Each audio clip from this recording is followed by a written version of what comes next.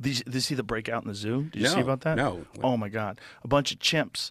They broke free and they went wild and uh, they gunned them down. They gunned down. I think they gunned down three of them or four of them. So it says uh, insane things are happening at the Furuvik Zoo. Four chimpanzees gunned down after a breakout and a fifth shot but only wounded, three more on the loose. Drones are used to survey the besieged zoo.